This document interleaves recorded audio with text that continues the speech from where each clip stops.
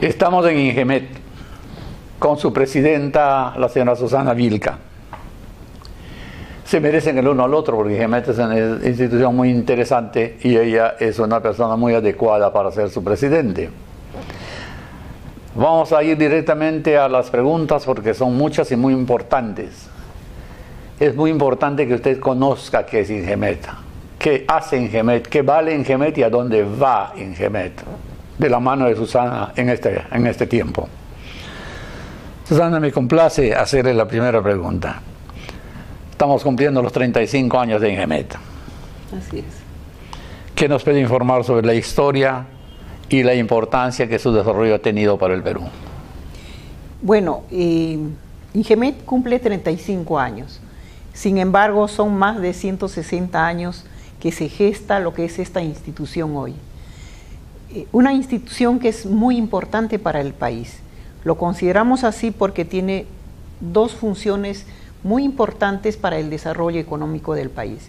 Uno es el tema de la administración de las concesiones mineras, que de cuyo aporte que viene desde los derechos de vigencia, que es un ingreso más para los distritos, los municipios locales, porque de ella va para lo que es la inversión de infraestructura, pero también a través de las concesiones se da el primer paso para el inversionista minero, que sobre esa base tiene que seguir una serie de trámites de autorización para llegar a la exploración y explotación. A veces me parece son casi demasiados, ¿no? Así es.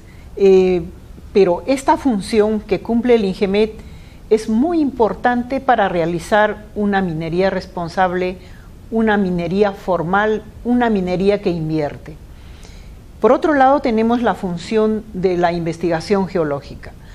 Una investigación geológica que tiene varios aspectos, desde la cartografía nacional, que la estamos modernizando cada vez, lo estamos actualizando, eh, acorde a las necesidades de los que requieren de estas cartas eh, nacionales eh, geológicas.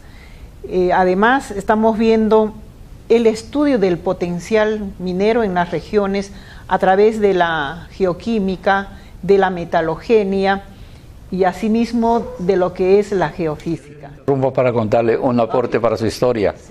¿Sabe cómo nació la idea de hacer una carta como esta?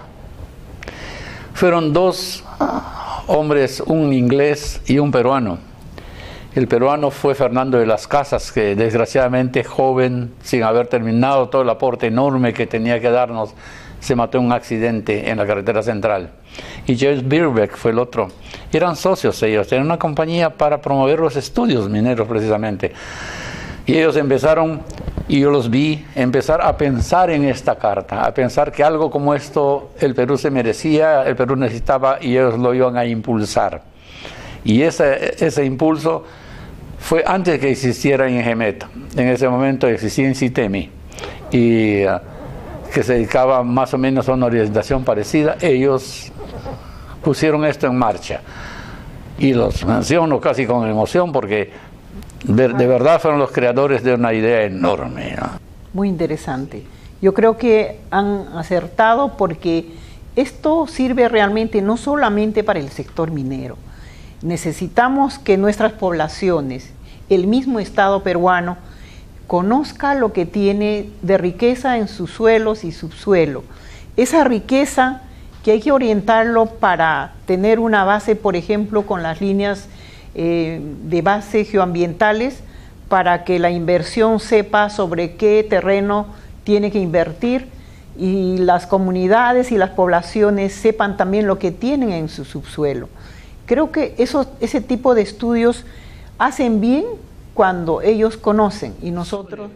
Sobre esa clase de estudios así geocientíficos, ustedes tienen gente instrumental, tienen métodos nuevos, la ciencia que avanza, eh, la, observación satelital, son aportes importantes, aportes nuevos. Y ustedes ya están metidos en eso, yo sé. Así sería muy interesante saber de su boca sobre este tema. Por supuesto, creo que hay elementos importantes para decir de que estamos apuntando a obtener productos de calidad Primero es la capacitación de nuestro personal, que lo estamos haciendo acá en Perú y también fuera del Perú, en temas especializados para que ellos traigan los conocimientos y puedan aplicarlo en lo que nosotros requerimos para mejorar nuestra calidad de producto. Llámese, por ejemplo, en estudios justamente de geoquímica, de geofísica y, otros peligros geológicos, por ejemplo, hidrogeología, que es tan importante para sumar en lo que se llama estos estudios de línea de base geoambientales.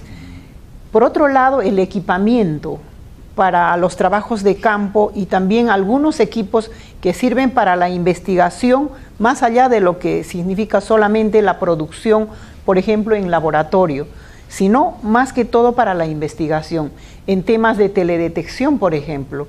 Entonces, estas cosas estamos mejorando y estamos equipando también, estamos invirtiendo en estos, en estos equipos que son básicos para la investigación.